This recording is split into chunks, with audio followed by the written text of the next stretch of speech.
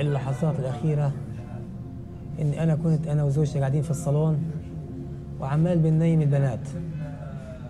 عددهم ثلاث بنات وولدين.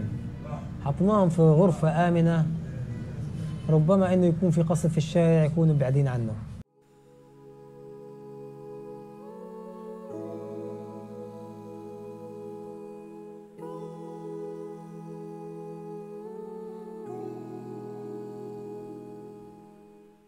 What do I say to something like this?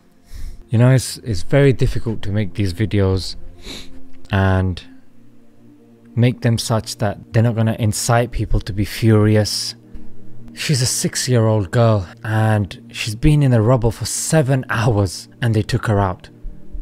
So this is for you people that are still sitting on the fence. 58 children have been killed in Gaza, and Israel is still looking us square in the eyes and telling us they're killing Hamas. How many more children have to die?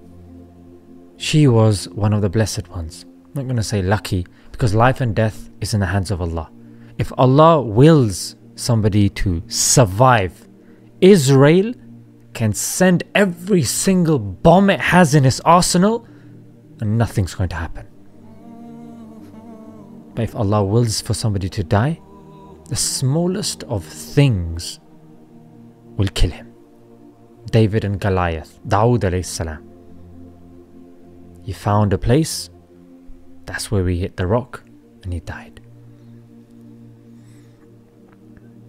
So, for those people that are watching and thinking it's a political issue, Israel and Palestine, no, no, no, no. Realize that life and death is in the hands of Allah. Honor and disgrace is in the hands of Allah. Allah gives it to whomever He pleases. Yeah, when we die, we die as a martyr, we go close to Allah. And if we die with faith, we have hope to enter the company of Allah in paradise. But as long as we are here, we are representatives of Allah subhanahu wa ta'ala. We are khalifas, vicegerents of Allah on this planet. And wherever we see injustice, be it East Turkestan, be it Kashmir, be it Burma, be it Yemen, wherever it may be, Muslim, BLM, yeah, anti Semitism, whatever it may be, yeah, injustice is injustice. And as a Muslim, we have a duty to stand up against it. Be it in our households, in our workplaces, hmm? in our relationships. If there's injustice taking place, then you should speak out. Yeah? The result is not in our control. Yeah? We know, we've been told Islam will be prevalent. Yeah, Isa alayhi salam will come. He will deal with what needs to be dealt with. Huh? So we don't we don't worry about the consequences. But as long as we are here, do your best, Allah will do the rest. If somebody comes into your home wielding a weapon, you know what you do first of all? You don't start praying. You grab a weapon, you hide, you get into your position, then you pray. Do your best, Allah will do the rest. So, in causes like this, we need to make our voices heard. Are you listening to me? Yeah, enough is enough. Yeah, enough is enough of uh, no, let's hear your opinion, my opinion. No, no, no. You see stuff like this? And look at this. This is my child. This is your child. Look at the shock on his face. You know, in my videos, it sometimes it takes me it takes me time. Yeah, because I don't want to you know do an emotional thing, but I'm a human being for God's sake. Look at this child. We talk about PTSD, post traumatic stress syndrome. We talk about trauma when someone's mother or somebody's loved one gets slapped about. Allah forbid. As a child, it leaves you traumatic. Look at this child.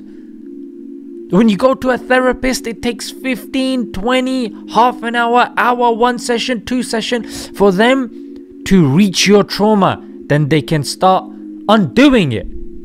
Cognitive behavioral therapy and the likes. But here, you're gonna undo this.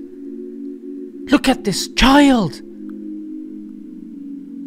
Now, I'm not somebody that's gonna show you uh, videos of of blood and gore. There's enough of that on Twitter. There's enough of that on TikTok. There's enough of that on Instagram. Yeah, we have enough of that on WhatsApp as well. But look at these two.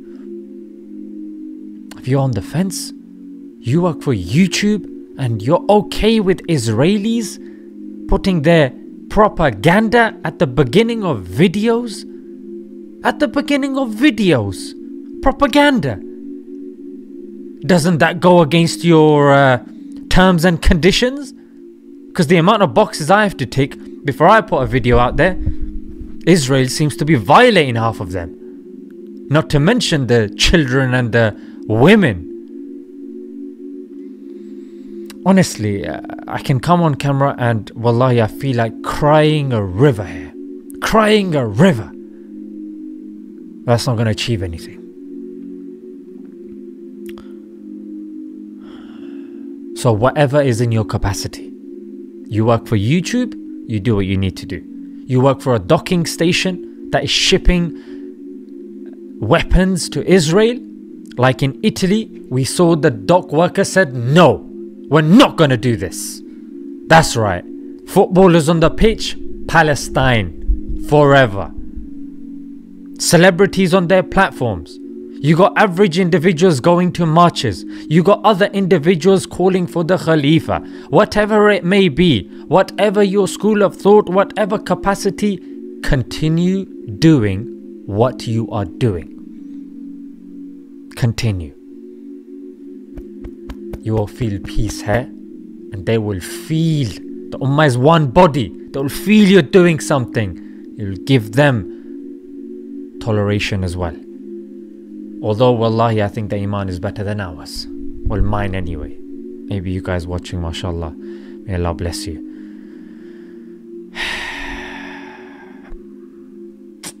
what can I say? See you guys next time, inshallah.